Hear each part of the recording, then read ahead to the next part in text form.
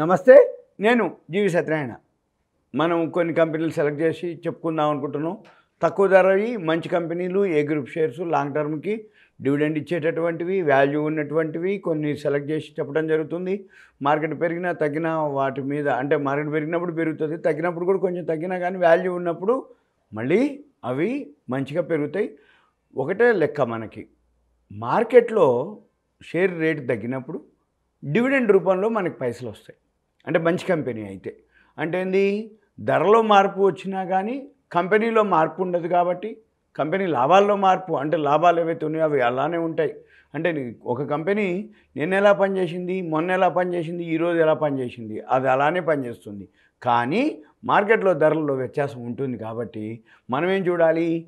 Value ఉన్న కంపెనీలను కనుక అబ్ అబ్జర్వ్ చేసి మనం కనుక కంపెనీ బాగా లాభాల్లో ఉంటే తక్కువలో ఉన్నప్పుడు కనుక కొనుక్కుంటే ఒకవేళ తగ్గినా కానీ డివిడెండ్లు వచ్చే అవకాశాలు ఉంటాయి. ఆ డివిడెండ్లు కనుక ఉంటే అనుకోండి ఆల్మోస్ట్ ఆల్ బ్యాంక్ వడ్డీ డిపాజిట్ల కంటే పోస్ట్ ఆఫీసు ప్రావిడెంట్ ఫండ్ వాటికంటే కూడా ఎక్కువనే ఇవి వర్కౌట్ అవుతాయి అనమాట అవి ఏంటి ఏంటి అనేది మీకు సెలెక్ట్ చేయడం జరిగింది కొన్ని చెప్పడం జరిగింది. ప్రతి ఎపిసోడ్కి ఒక రెండు కంపెనీలు మీకు ఎక్స్ప్లెయిన్ చేయడం జరుగుతుంది. ఆ రెండు కంపెనీల్లో ఇప్పుడు ఈ ఎపిసోడ్లో ఎన్హెచ్పిసి ఎన్హెచ్పిసి ఏదైతే ఉందో ఇది పబ్లిక్ సెక్టార్ యూనిట్ ముప్పై నాలుగు ముప్పై పైసల్లో ఉంది. ఎన్హెచ్పిసి ఫుల్ ఫామ్ ఏంటో national hydro electric power corporation limited. NHPC means national hydro electric power corporation limited. ఈ కంపెనీ ఏంటో చూద్దాము. ముప్పై నాలుగు వేల నాలుగు వందల యాభై నాలుగు కోట్లు మార్కెట్ క్యాపిటలైజేషను. పీ రేషియో వచ్చి nine point eight industry PE వచ్చి ముప్పై నాలుగులో ఉంది. అంటే రూపాయి వస్తువు ముప్పై నాలుగు పైసలకి దొరుకుతున్నట్టు ముప్పై ఐదు పైసలకి. దొరుకుతున్నట్టు. ఇక తర్వాత బుక్ వాల్యూ ముప్పై నాలుగు ఎనభై పైసలు షేర్ ప్రైస్ ముప్పై నాలుగు ముప్పై పైసలు రెండు ఈక్వల్గా ఉంది. బుక్ వాల్యూకి ఈక్వల్గా మనకి షేర్ ప్రైస్ దొరుకుతుంది అనేది అర్థం. ఇక తర్వాత హై ముప్పై ఏడు అరవై లో ఇరవై ఐదు ఇరవై పైసలు. డివిడెండ్ వచ్చి three point eight five percent. Dividend yield face value వచ్చి టెన్ రూపీస్గా ఫేస్ వాల్యూ ఉంది. ఆర్ఓఈ పది పాయింట్ నాలుగు ఆర్ఓసిఈ ఆరు పాయింట్ మూడు ఎనిమిది. ఇది సింపుల్గా మనకి గ్రాఫ్ చూస్తే పైకి వెళ్ళి రైట్ టర్న్ కొంచెం తీసుకోవటం జరిగింది. అది చూసుకోండి. ఇక తర్వాత ఇది ఏదైతే ఉందో పవర్ సెక్టార్.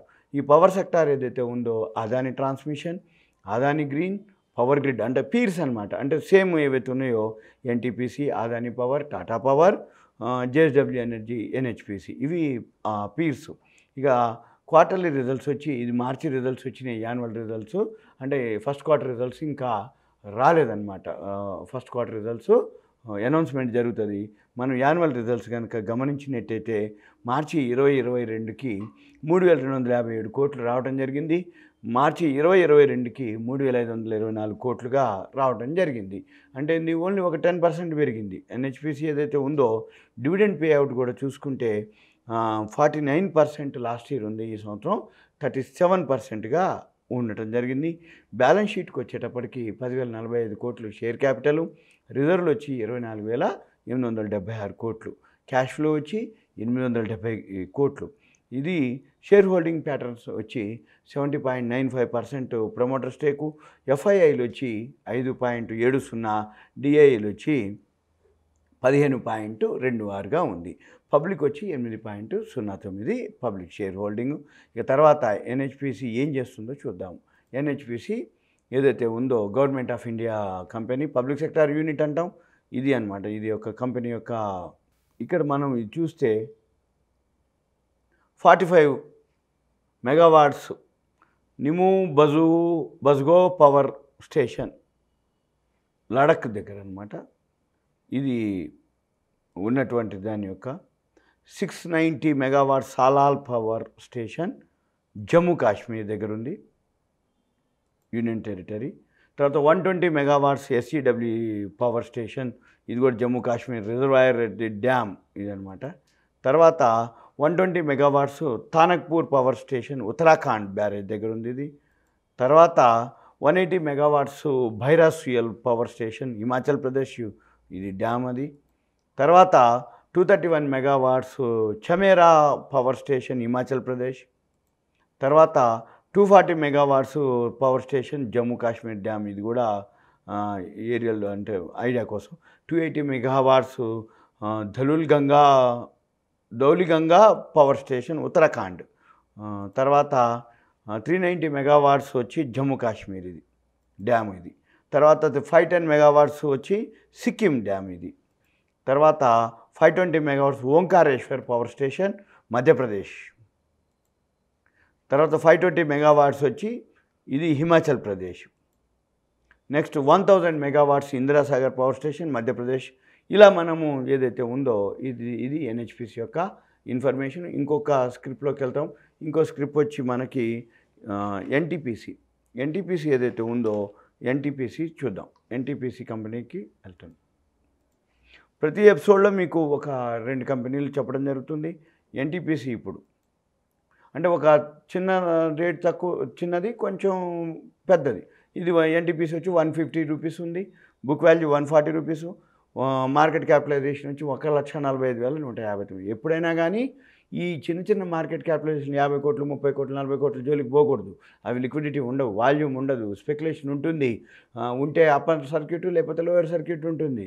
ఏదైతే ఇటువంటి కంపెనీలు అంటే మార్కెట్ క్యాపిటలైజేషన్ ఎక్కువ ఉన్న కంపెనీలకు వెళ్తే మీకు ఇన్ఫర్మేషన్ ఉంటుంది అంటే లిక్విడిటీ ఉంటుంది వాల్యూమ్ ఉంటుంది సేఫ్టీ ఉంటుంది. ఆ కంపెనీ యొక్క ఇన్ఫర్మేషన్ ఏదైతే ఉందో మనం చూడగలగాలి చూడాలి ఆ ఇన్ఫర్మేషన్ బట్టి మనము అది గ్రూప్ ఏ గ్రూప్ ఏంటిది అనేది సెలెక్ట్ చేసుకొని చేయాల్సి ఉంటుంది. ఓకే బుక్ వాల్యూ నూట నలభై రూపాయలు ఇయర్లీ హై నూట అరవై ఆరు ఇయర్లీలో నూట పన్నెండు. నూట అరవై ఆరు అంటే నూట యాభైలో ఉంది. తర్వాత పిఈ రేషియో వచ్చి ఎనిమిది పాయింట్ ఆరు తొమ్మిది సెక్టార్ పిఈ వచ్చి ముప్పై నాలుగుగా ఉండటం జరిగింది. ఫేస్ వాల్యూ పది రూపాయలు ఇది బుక్ ఆర్ఓఈ వచ్చి పన్నెండు పాయింట్ ఎనిమిది తొమ్మిది పాయింట్ ఒకటి ఆరు ఆర్ఓసిఈ ఇక తర్వాత గ్రాఫ్ చూస్తే మీరు fifty DMA two hundred DMA దాటి పైన ఉండటం జరిగింది. వాల్యూమ్ కూడా జరుగుతుంది. పీర్స్ వచ్చి ఏదైతే ఉందో ఇంతకుముందు మనం అనుకున్నట్టు దానికి కూడా పీర్స్ అంటే power. Adani transmission Adani green power grid NTPC Adani power Tata power JW ఈ పవర్ అన్నీ కూడా ఇది కూడా పవర్ కిందకి వస్తుంది. ఇది ఇది కూడా ఎన్టీపీసీ ఇది కూడా annual quarterly first quarter results ఇంకా రాలేదు. మార్చి యాన్యువల్ రిజల్ట్స్ వచ్చినాయి. ఆ యాన్యువల్ రిజల్ట్స్ని బట్టి మీకు లాస్ట్ ఇయర్ అంటే మార్చి ట్వంటీ ట్వంటీ వన్కి పద్నాలుగు వేల ఆరు వందల ముప్పై ఐదు కోట్లు రావడం జరిగింది. ఇప్పుడు March twenty twenty twenty one twenty టూకి పదహారు వేల ఆరు వందల డెబ్బై ఆరు కోట్లుగా రావడం జరిగింది. తర్వాత ఇది ట్వంటీ సిక్స్ పర్సెంట్ సిఏజిఆర్ రావడం జరిగింది ఈ ఏడు.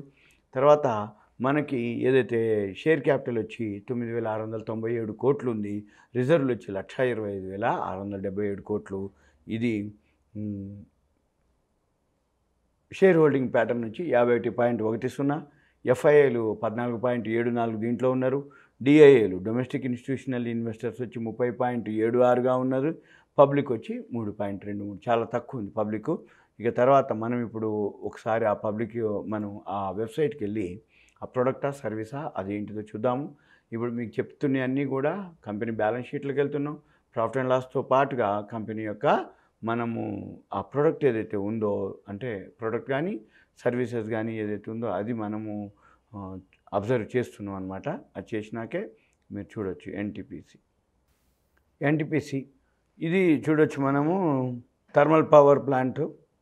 ఓకే ఇది ఎప్పుడు ఏర్పడింది? ఏమవుతుంది ఇది ఇవి ఏమేమి చేస్తుంది అనేది మొత్తం దీంట్లో మీకు ఇన్ఫర్మేషన్ ఉంటుంది.